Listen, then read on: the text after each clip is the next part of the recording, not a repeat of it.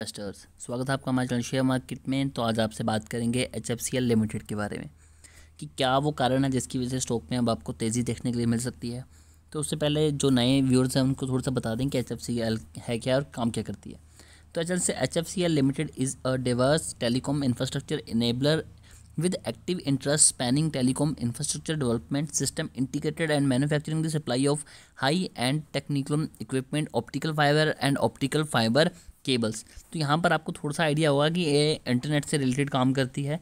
आपका केबल्स वगैरह में जो आपका इंटरनेट प्रोवाइड करने का काम होता है तो वो सारा काम ये कंपनी करती है। सेकेंड चीज़ ये है, एक और चीज़ मैं आपको बता दूँ कि यहाँ पर गवर्नमेंट की तरफ़ से इन्हें काफ़ी ज़्यादा सपोर्ट की जाती है। अभी जो आपका पीएम वानी है पीएम वानी जिन लोगों को नहीं बता, मैं उनको बता दूँ कि पीएम वानी के अंडर जो डिजिटल इंडिया है वो आता है। तो जो छोटे छोटे गाँव हैं, जहाँ पर इंटरनेट की सुविधा आज भी नहीं है, वहाँ पर ये इंटरनेट की सुविधा प्रोवाइड करते हैं। अभी इन्होंने लास्ट टाइम गवर्नमेंट की तरफ़ से इन्हें टेंडर मिले थे तो इन्होंने कर्नाटक में ये अपना प्रोजेक्ट कंप्लीट करा।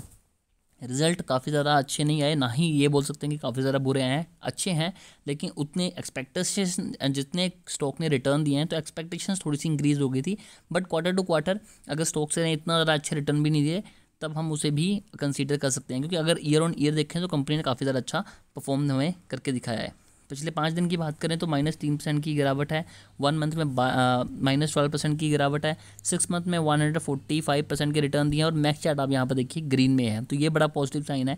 अब यहाँ पर चीज़ देखने वाली ये है कि स्टॉक यहाँ पर 2020 तक एक कंसोलिडेट पीरियड में था।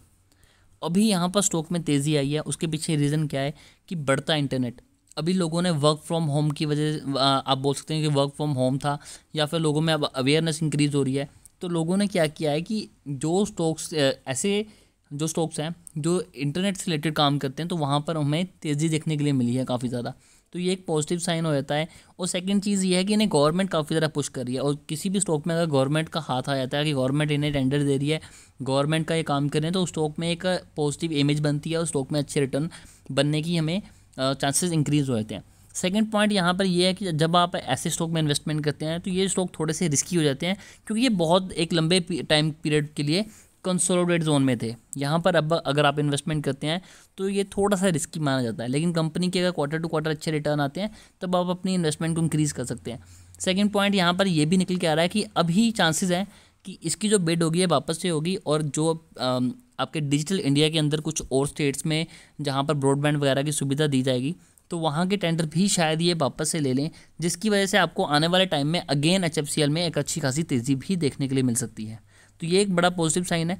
सेकंड चीज़ ये है कि अगर थोड़ा सा हम इनके जून ट्वेंटी ट्वेंटी पर नज़र मारें तो आप यहाँ पर देख सकते हैं कि revenue seventy two percent year on year basis पे इंक्रीज़ हुआ। नेट इनकम की बात करें तो थ्री हंड्रेड सिक्सटीन परसेंट तक इंक्रीज़ हुई है, जो कि काफ़ी ज़्यादा अच्छी हुई है। ई पी एस की बात करें तो अभी का डाटा यहाँ पर क्लियर नहीं है, और मैंने इसके ऊपर जब इसका रिज़ल्ट आया था, मैंने वीडियो बनाई थी, लेकिन अब मैंने इतने ज़्यादा रिज़ल्ट कवर किए हैं तो ये थोड़ा सा मुझे याद नहीं है। लेकिन जहाँ तक मुझे याद है कि इनके जो रेवेन्यू फॉर्म ऑपरेशन है, वो इंक्रीज़ हुआ था ईयर ऑन ईयर बेसिस पे भी। तो ऑब्वियस है कि इनका जो ई e है, वो भी इंक्रीज़ हुआ होगा। कंपनी के सभी, आप देखिए पॉजिटिव ही निकल के आ रहे हैं। लेकिन यहाँ पर अगर आप बड़ी इन्वेस्टमेंट करते हैं तो थोड़ा सा ये रिस्की हो सकता है। तो आपको यहाँ पर बड़ी इन्वेस्टमेंट नहीं करनी चाहिए। थोड़ी सी इन्वेस्टमेंट कीजिए। अगर आपके पास शौक है तो डेफिनेटली होल्ड कीजिए। आपको अच्छे रिटर्न देखने के लिए मिलेंगे। अगर आप यहाँ पर इन्वेस्टमेंट करने के बारे में सोच रहे हैं तो इन्वेस्टमेंट को मिनिमम रखिएगा। जैसे जैसे आपको अच्छे रिटर्न मिलते जाएँगे तो आप अपनी इन्वेस्टमेंट को भी इंक्रीज़ कर सकते हैं। तो अभी के लिए दोस्तों इतना ही। वीडियो अच्छी लगी तो वीडियो को लाइक कीजिए। चैनल पर नए हैं तो सब्सक्राइब करके बेल आइकन को दबाना बिल्कुल भी मत भूलिएगा। तो अभी के लिए दोस्तों इतना ही।